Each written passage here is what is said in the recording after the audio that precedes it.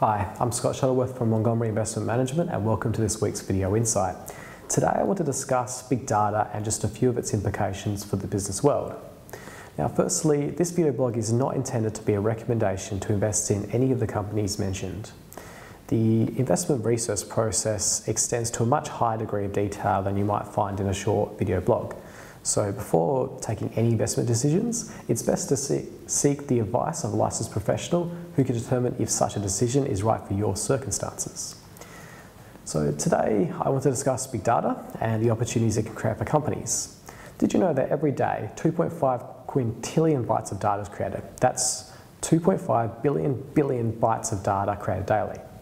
Now that's an interesting factoid, but what matters is what the data is used for. We're now in an era where companies have the ability to drive sales and profitability by exploiting the insights of all that data collected.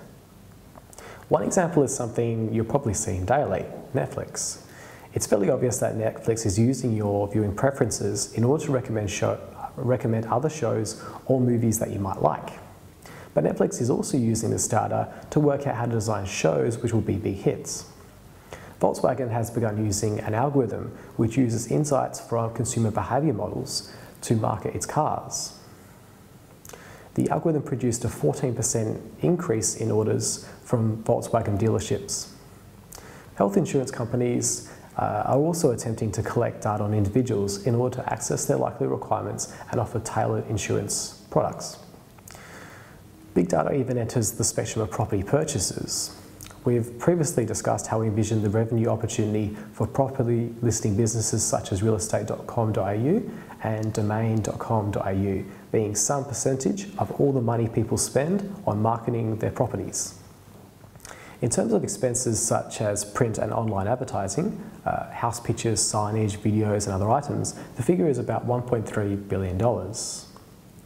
If you include agent sale commissions, you're looking at circa $6 billion. To really begin to take a, a larger part of this money pie, uh, a, listing website has to provide value both uh, on the buying side and the selling side of the property uh, exchange.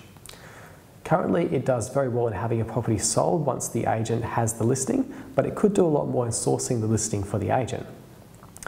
Notably, there are other firms providing this service and taking up to one third of the commission as a fee. As an illustrating example, on a $1 million property, this is a $5,000 fee. So how can a listing website exploit this opportunity? For one, it's possible to do this incrementally with big data. It's possible to collate data about individuals online and use this data to predict whether a property viewer is wanting to sell a property.